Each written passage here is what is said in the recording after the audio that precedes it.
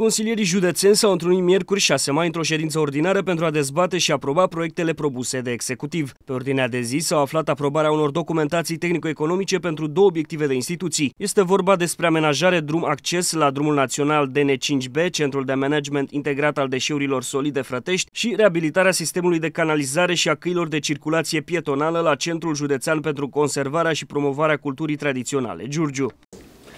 Proiect de hotărâre privind aprobarea documentației tehnico-economice pentru obiectivul de investiții, amenajarea acces la drumul național DN5B, Centrul de Management Integrat al Deșeurilor, solide Frătești, județul Giurgiu, în faza proiect tehnic și detalii de execuție.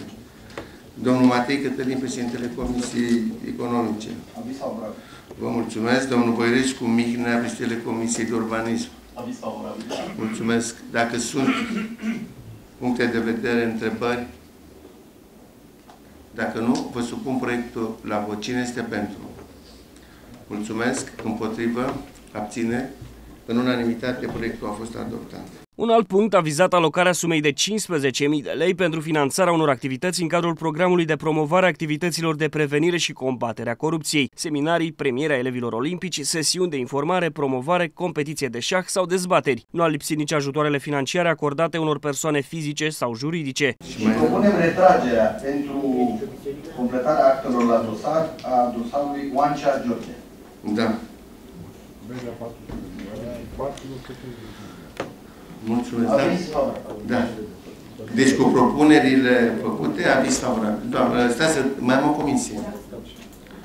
Imediat. Uh, comisia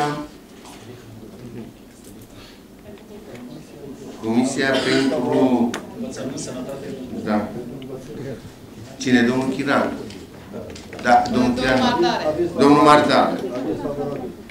Aviz favorabil, da? Mulțumesc.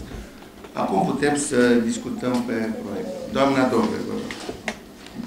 Domnule președinte, stimați colegi, am uh, o rugăminte mare la dumneavoastră. În presa locală, preluată și în presa națională, există un caz groaznic, o fetiță de 25 de ani, a noastră din Giurgiu, care are metastaze. Se numește... Da, a fost în presă, da. Vă rog din suflet, are cererea din februarie, domnul președinte, toți, cred că toți, n-aș vrea să creștesc, toți consilierii de aici avem copii, gândiți-vă că are 25 de ani să lupte cu viața. Haideți să fim alături de ea, să o sprijinim, să simtă. E foarte important acest ajutor, să zicem, moral, Suma este aia pe tot anul și va fi decontată uh, lunar în funcție de cheltuielile care. Câte ediții? Cum apare această revistă? Lunar. Lunar. Lunar. Uh, și atunci ce solicitați? Ați dori ca suma respectivă să se acorde ca o decontare pentru lunar. Am înțeles. Am înțeles. Nici o problemă. Da. Vă rog să consemnați în uh, procesul. Deci o să atenționăm la direcția economică ca lunar să ne facă o, o documentație din care să rezulte cheltuielile pe care le are și noi să decontăm numai cheltuielile. Și să ne dea și nouă câte o revistă. Da. De, de acord. La punctul care se discută acum, punctul 12, participația SRL, este o societate comercială. Consiliul Județean poate să acorde ajutoare societăților comerciale, SRL-urilor. Păi nu acordăm, deci acordăm pentru revistă. Nu.